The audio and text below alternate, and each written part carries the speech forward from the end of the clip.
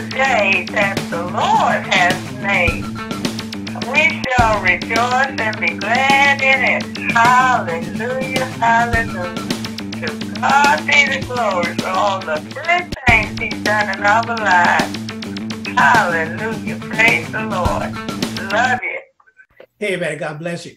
Uh, this is deep today. I'm really, I'm telling you, they deep every day, really, right? Every Sunday, right? But this is deep. This one is probably the most important message that was ever discussed uh, that we went over today, or I went over today. And I wanted to share with you. And I, I just want to encourage you to listen to these studies this week um, because it matters to you personally concerning the direction you should take in life concerning the Word of God. And the direction should always be toward Christ, toward Yeshua, toward Jesus. You know, the scripture says in John 14, 6, Jesus, I'm the way, the truth, and the life. No one comes to the Father but by me. And that means you don't go by the color of your skin. You don't go by your political affiliation. You don't go by your nationality. You don't go by what country you're in. You don't go by the country where you came from. You go by Christ. He said, I'm the way, the truth, and the life. No one comes to the Father but by him. And if you can keep that in mind, you can make a big difference. So we're going to go and talk about the study real quick. This is the introduction. And, and one of the things I want to do is make sure you know this is what we talked about today. This is a good question too. The the fact is, and, and I like it, and I think it makes sense. It's a question. And I'm going to answer the question at the same time. Do Christians believe we are not accountable to God, but to man? And the scripture I'm using is Romans 14, 12, Jeremiah 17, 10, and Galatians 1, 6 through 10. I'm going to focus on the foundation scripture in Romans 14, 6 through 12 that I'm going to talk about. But the point is this. Do Christians, because that's why that's what I am. I'm a believer in Christ, Christ Jesus. He's my Lord and personal Savior. So I'm asking a question as a fellow Christian to other Christians, right? I'm gonna answer the question in a second, but I'm saying is, do Christians believe we are not accountable to God, but to man? The answer is that we are accountable to God, not to man. And but your actions must line up with that statement, right? Because what people see, and let me get this, I'll come off the screen right here what people see is in most cases, it seems like people move based on the will or preference of your fellow man. You call yourself a Christian, you call yourself a believer in Christ, but you do the thing that is you do contrary to the word of God. And therefore you act like you're not accountable to God. Now make sure you get this, this foundational script I was using is in Romans, like I was telling you earlier, in Romans 7. And I want to make sure we cover those real quick. In Romans 7, it says, let me make sure I get it up there for you. I know I talked too long. Romans 14, starting 7 to 12. For none of us live unto himself, and no man dies to himself. For whether we live, whether we live, we live unto the Lord, and whether we die, we die unto the Lord. Whether we live therefore or die, we are the Lord's. For this, for to this end Christ both died and rose and revived, that he might be Lord both of the dead and the living. But why dost thou judge thy brother? Or why dost thou set at naught thy brother? For we shall all, we shall all stand before the judgment seat of Christ. For it is written, As I live, says the Lord, every knee shall bow and every tongue shall confess to God. So then every one of us shall give an account of himself to God. Every one of us shall give an account of himself to God. I say it again. Every one of us shall give an account of himself to God. That preacher, that minister shall give an account of himself to God. And if he's sitting there endorsing you to do bad things, you know, I have one of my friends sit there and say, I want to be able to talk about and preach about all kinds of things. And then I, some of the things, I don't want the, the system to discriminate me and tell me I can't preach about the Bible. You know, if you're teaching, if you're a Christian, you're teaching about preaching the good news. And people should walk out being able to go preach the good news. If people walk out and sit there and go and beat somebody up because of their sexual orientation or something else, if people go out there and go and lynch people because of the color of skin, you didn't preach the good news because that you obviously didn't preach the good news.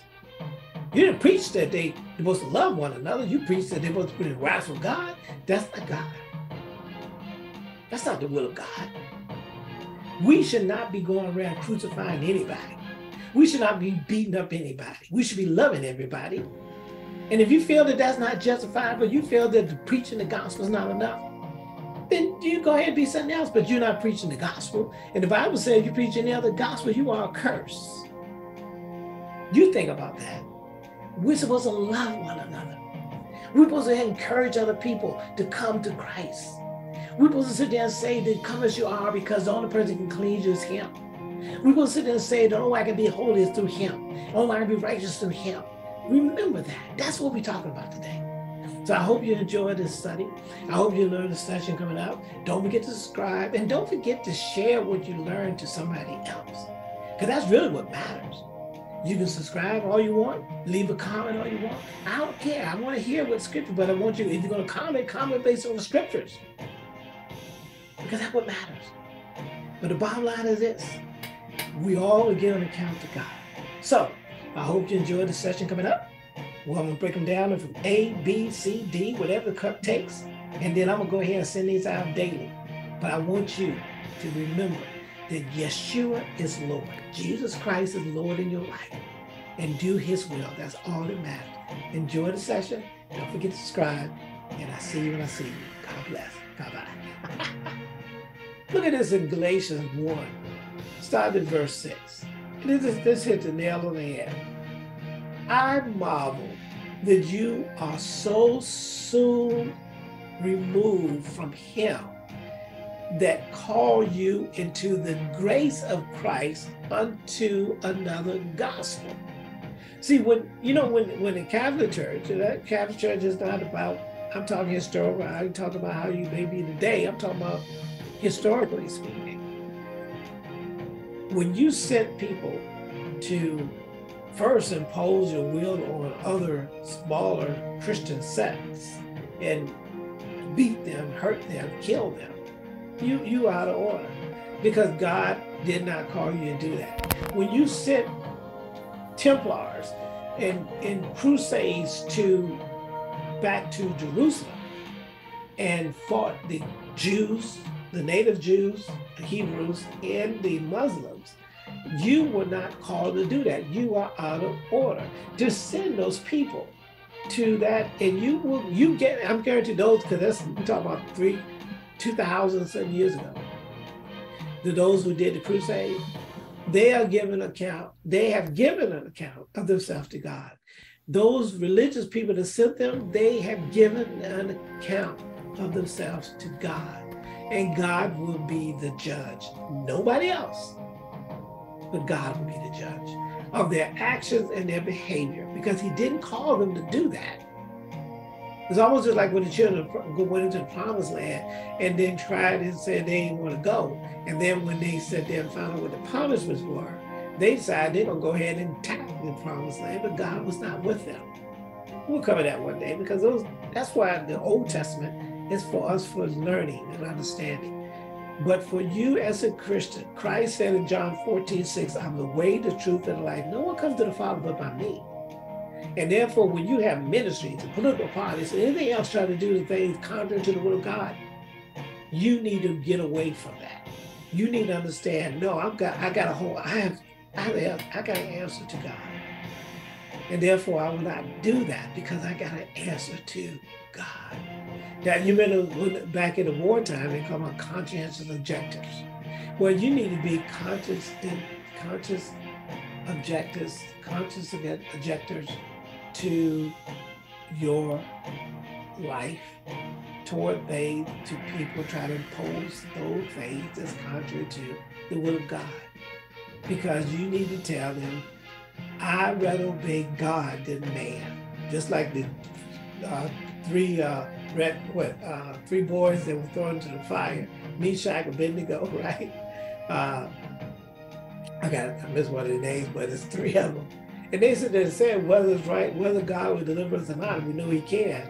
But whether He does or not, we will not bow down to you. We need to understand and start learning not to bow down. Talking about believers, because the sheep, the wolves in sheep clothing, I'm telling you, they don't care about ordinance of God, the will of God. They they they want to use religion. They want to use our faith to do bad things and cover themselves based on the will of God. You need to start, we need to start recognizing that and start rejecting those things of people who are trying to get us to do the do things contrary to the will of God. You know God didn't tell you to hate. You did, you know God didn't tell you to lynch people, to kill people, discriminate against people. We know that. You know that's in the scriptures. You know that. You're supposed to love your neighbors yourself. So therefore, you're doing something that's going contrary to that.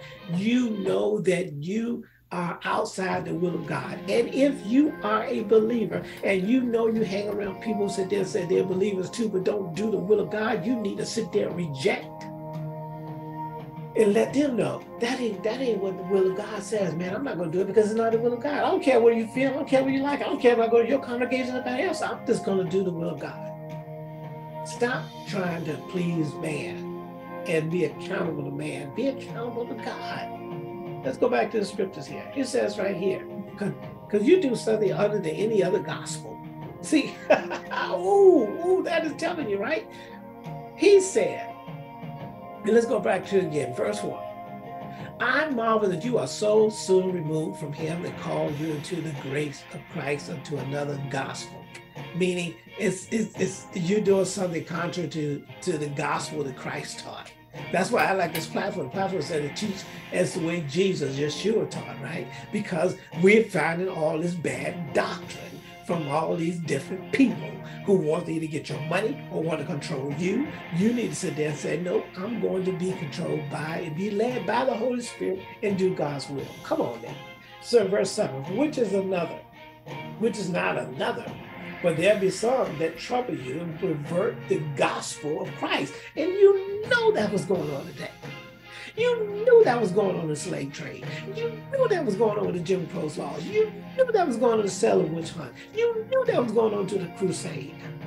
You know it. And going to be held accountable for it. Because some of you right now are, are following the will of your political party affiliation and everything else. So I'm gonna tell you something. I don't care if it's your mama or your daddy. If you don't do the will of God, if you sit there and sit there and put those wills of other people contrary to the will of God, you go by some other strange gospel. You're gonna be held accountable to God. You can take this scripture, you can, you can, you can go even further in the study. But you understand this, you will be held accountable to God. Just like I'm going to be held accountable to God. You want to know that you will be held accountable to God. That you you don't hear it now.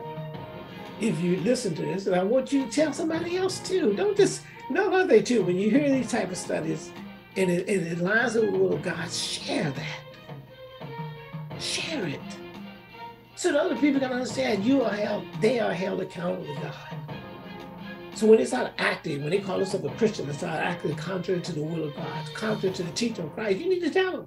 So where what you do doing lines with the will of God? Oh, I feel I don't it doesn't matter when you feeling justified or not.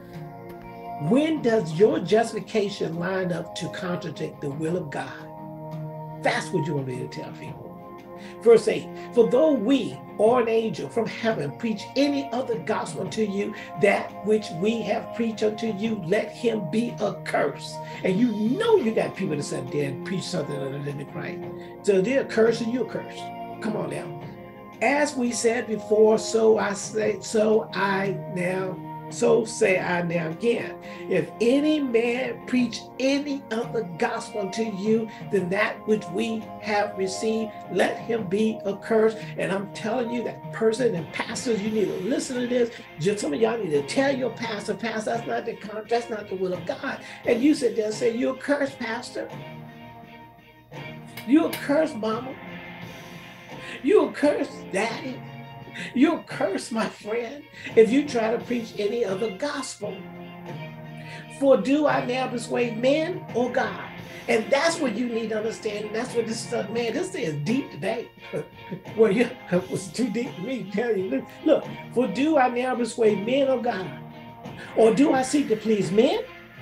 For if I yet please men, should not I should not be a servant of Christ. And that is what some of you, and that's what some of these people leaving and don't want to come to your church anymore, your ministry anymore, because you are not preaching the gospel. You're preaching a politic, you're preaching out of your man. And you know, when Peter sat there, when Christ told him, said, I gotta, I gotta go and be crucified. And Peter said, No, that ain't gonna happen. Christ looked at him and said, Get behind me, Satan. For you are mindful of the things of man instead of the things of God. How many of you are mindful of the things of God or the things of man? And if you are you mindful of the things of man, then you need to get behind me, Satan. And you need to tell people that try to do things contrary to the will of God is to get behind me, Satan. Because you're mindful of the things of man instead of the things of God. Man, boy, this is I don't know, let me keep going. Hebrews 11 1 says, Now faith is the substance of things hoped for, the evidence of things not seen. Why did I put that up there? Because the fact is that we live by and have faith in God. And we have our hope. You, if you have hope to kill, mutilate, press, harm somebody, that ain't you don't you're not gonna have faith in God to make those things come to pass. You're gonna have faith in your fellow man to do those things, which is what people have done. But they still got to give themselves account to God. And God said this, I didn't tell you to kill those people. I didn't tell you to discriminate against those people. You can sit there and you go, you're talking another gospel that may feel like it's good for you, but it got to be lined up with Him. And we know that. Because look at this verse Hebrews 11 6. But our faith, faith in God, it's impossible to please Him. Who? God. Not man, but God. For he that cometh to, see, there he that cometh to God must believe that He is. And He is the reward of those who diligently seek Him. Not diligent, like again, once again, some of y'all diligently seek your political party. Some of you diligently sit there and seek your uh, black superiority or white superiority, everything else. You seek the wrong things. Because you you want to please God, you want to please man. You choose. Because that's where he gives you a choice to do so. Make sure I got that right.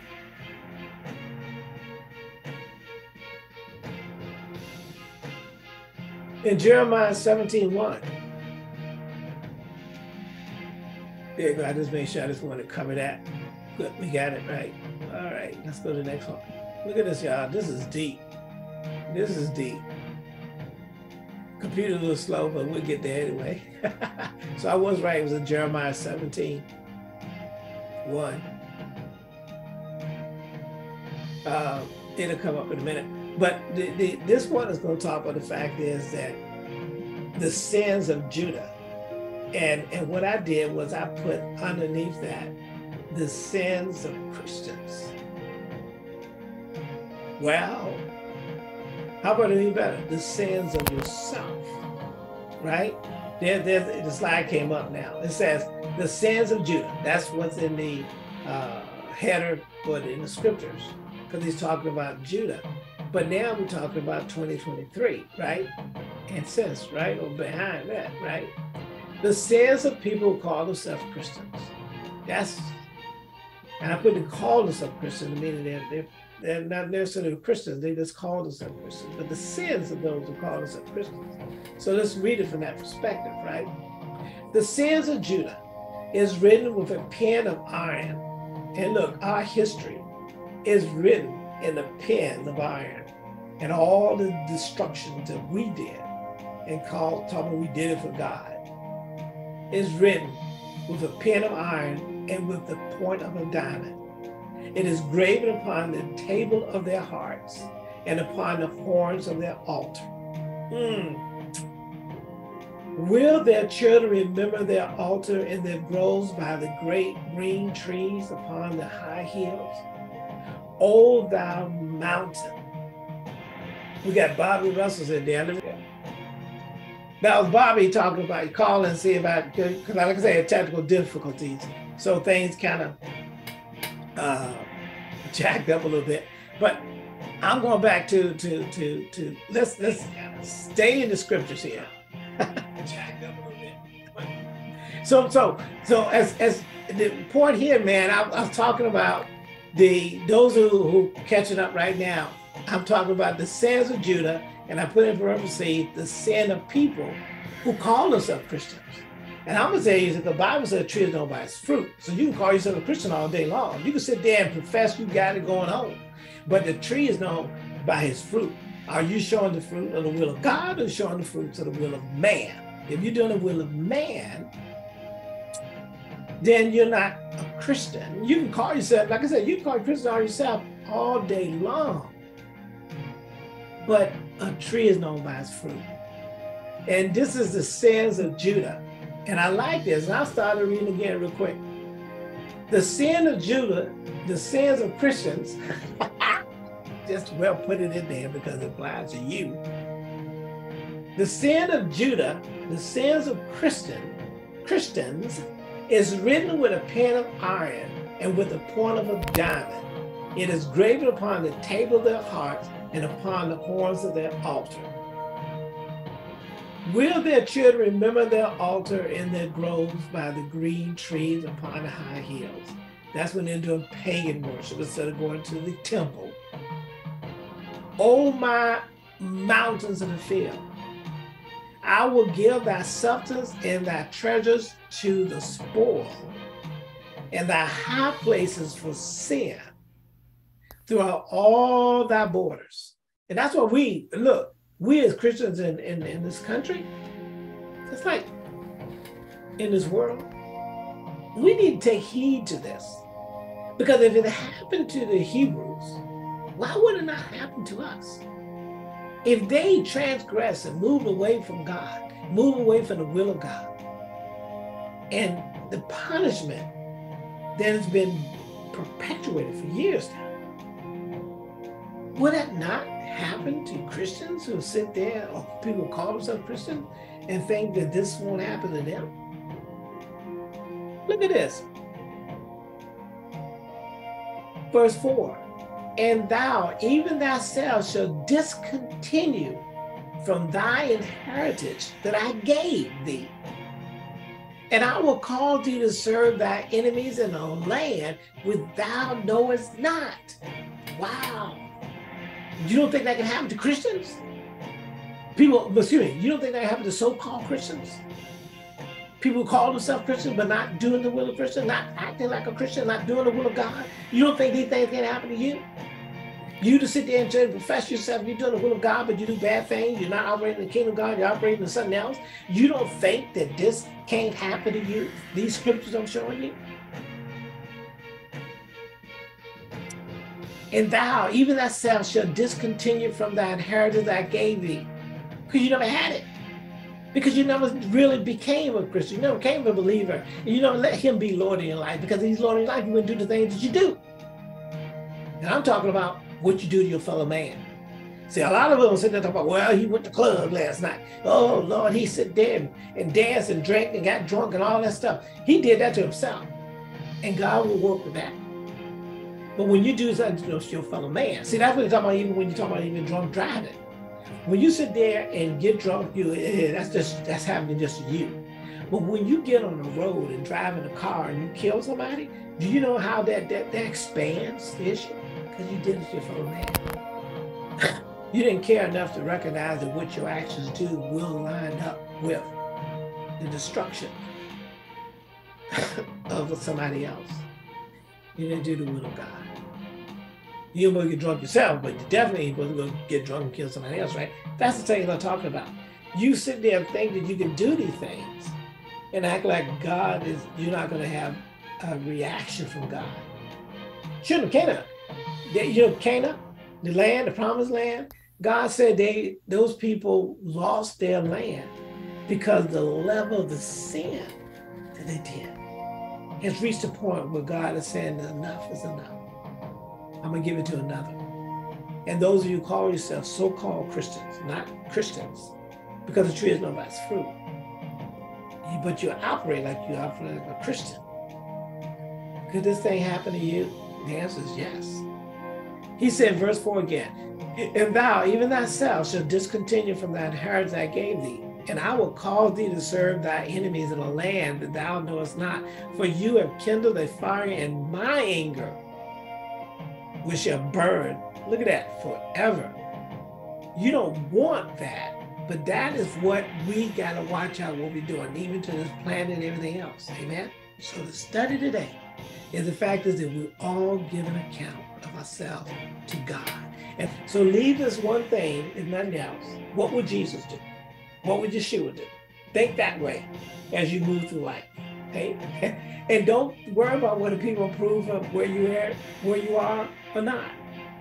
You are a child of God because it's the will of God. Remember we put that in Second Timothy? He will for all men to be saved and come to the full knowledge of the truth of God. I'm putting things out. I'm talking longer because I'm trying to make sure you get the word of God because it's the word of God that matters, not me. But I'm guaranteeing you if some preacher or some Christian sit there and say, you are accountable to me. Now I'm gonna judge you. I'm gonna assess whether you believe or not. You need to sit there and say, you, I'm not accountable to you, so I don't matter whether you believe I'm a Christian or not. I don't need you to sit there and try to tell me that I'm I can make an assessment myself. I'm not even gonna make an assessment myself. I'm gonna sit there and say I'm a child of God because of him. And I'm trying to do his will. And you sit there and come tell me with some small thin layer, one thin slice of Christianity, and to hold me accountable because I'm not going to be accountable to you. I'm accountable to God. Stop letting people sit there and run people off away from the church because you they didn't you didn't meet their criteria. You need to meet their criteria. You need to meet God's criteria. You remember Christ said, I didn't come to call the righteous, but I came to call the sinners to repentance. So he's seeking you. He's seeking me. Those people sit there act like they never sin. Those people act like they don't sin. You need to sit there and say, get behind me, Satan. You're mindful of the things of man instead of the things of God. And don't sit there and tell me you want to give me one piece of God's will and hold me accountable for it. And you don't hold the rest of the stuff in life that you're accountable for. Get a life. You pray for me. You have mercy for me. You don't sit there and condemn me because you have not the authority to do so. You should encourage me to do right, but you don't sit there and try to tell me that I'm supposed to think the way you think. Doing that, running so many people away from Christ, many people from church. So you got some people sit there say, "How can you be a Democrat if you're a Christian? How can you be a Christian if you're a Republican?" Get a life. You can be a Christian. You call yourself a Christian. You can be affiliated with any party you want. The question is, as long as you say that his will is above their will, their platform, your platform, your will. I am not being held accountable because of you. I will take those issues, those platforms, those things to God. And on top of this, and we'll over this, I am not an instrument of God. I'm not a judge. I don't judge people whether they go to heaven or hell. I don't judge that. I'm just telling you, you need to be accountable to God. And if you feel comfortable with what you're doing, you keep doing what you're doing with your bad self. But I know that I'm accountable to God. And you need to make sure you do that. When you confront people, they can confront you. You say, pray for me. There's some things I got to work on. But I hope you're praying for yourself as well. And I hope you line up with his will as well. Because you know what? You come in the way you want to, but you're going to give account to God. And one of the things you got to worry about is if you sit there and me, if you sit there coming against me, especially trying to use physical force against me, you're going to be accountable to God. You do what you do. You call what you want to call it. Amen. Man, I, I mean, I'm going to go ahead and reflect on these scriptures again. and I'm going to go ahead and put these videos out. And I, and I, and I hope that we all just study show ourselves approved. And just recognize we're accountable to God. What would Yeshua do when you make decisions? You line up with that, I think you're going to make some right decisions. Not going to make perfect, because no one's perfect. I ain't perfect. And I ain't said I am perfect, but I know what? I know nobody out there. I know. You know. None of them are perfect. None of them are holy. But they can be holy in Christ. You can't be holy outside of Christ. You can't be holy outside of your own preference, your own righteousness. You're not going to be holy. You're only going to be holy because of Him. You're going to be righteous because of Him. That's what the scriptures say. All right. All right. God bless you. Hope you have a great week. And I'll see you when I see you. I'm going to go ahead and do my introduction uh, for these tapes. You know, I break them down into segments, right? I break them down to from A, B, and C, try to do 20 and 30 minutes, you know, mostly uh, to the best of my ability. And and then I send them and put those out, hopefully on a daily basis. I send out texts, I send them like a, like today, Monday, Wednesday, Friday. But the uh, YouTube and uh, Facebook and Twitter, they get it every day. You know, hey, gotta reach people the best way you can, right? It's about the word of God. Preach the gospel. That's what we call us to do. So I'm gonna preach it. I'm gonna teach it. I'm gonna discuss it. And I hope you do the same. Learn what you learn, throw out what's not important, but don't throw out the will of God. And share, man. We need to we we let's share the scriptures. All right. And don't forget to subscribe. Amen. All right. God bless you. I'll see you. I'll see you. Like I said, I'm gonna go ahead and and uh, do my introduction for my videotapes uh, from this session today. All right. Stay blessed. Bye bye. this is the day that the Lord has made. We shall rejoice and be glad in it. Hallelujah. Hallelujah. To God be the glory for all the good things He's done in our lives. Hallelujah. Praise the Lord. Love you.